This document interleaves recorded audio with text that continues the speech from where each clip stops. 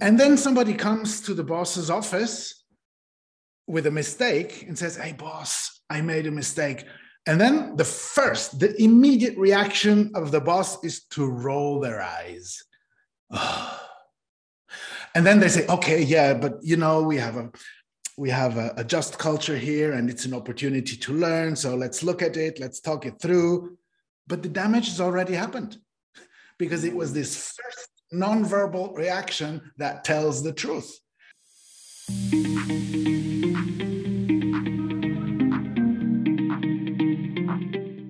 One of the biggest challenges can be conflicting human needs here. And I, I can tell that you are very passionate about human needs. I'm dying to know your view about this. So, psychological safety can fight against that need to feel like they belong.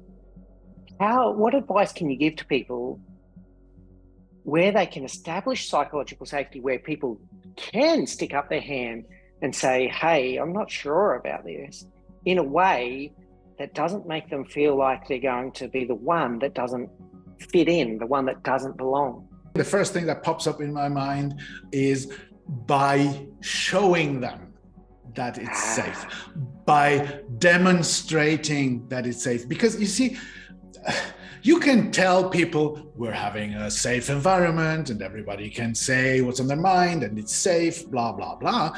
And then somebody comes to the boss's office with a mistake and says, Hey, boss, I made a mistake. And then the first, the immediate reaction of the boss is to roll their eyes. and then they say, okay, yeah, but you know, we have a we have a, a just culture here and it's an opportunity to learn. So let's look at it, let's talk it through. But the damage has already happened because it was this first nonverbal reaction that tells the truth. The culture of an organization and the climate within a team lies in the micro moments and the micro experiences that people make with each other that's why that's why i keep saying that leadership development more than anything else is personality development.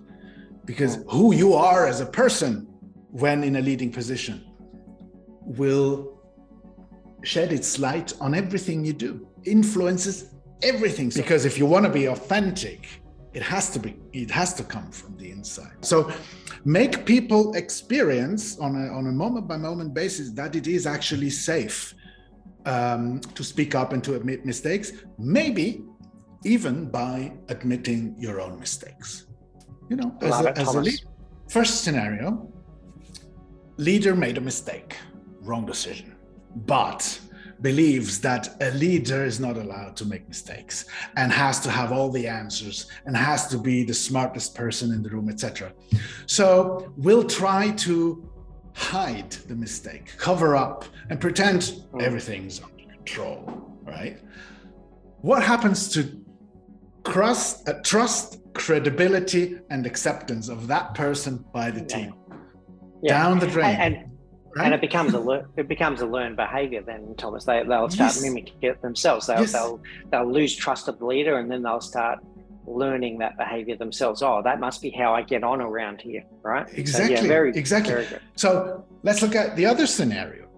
Suppose the leader made a mistake, stands in front of the team and says, "Guys, we have a situation. I made a mistake. I, I, obviously made the wrong decision. Now we need to find a solution for that. Would you help me out here? And, and I need you to, to, to resolve this issue. Showing vulnerability, which is a crucial part of authenticity. Hmm. Now, guess what happens? Guess what happens with credibility, trust, and acceptance of this person as their leader? Up through the roof. Because people know okay, if something happens, if there is an issue, this person will be transparent and they will tell me so I can trust. Even if from a from a different standpoint, some people might say this admitting a mistake can be seen as a weakness. It is not. It is clearly not.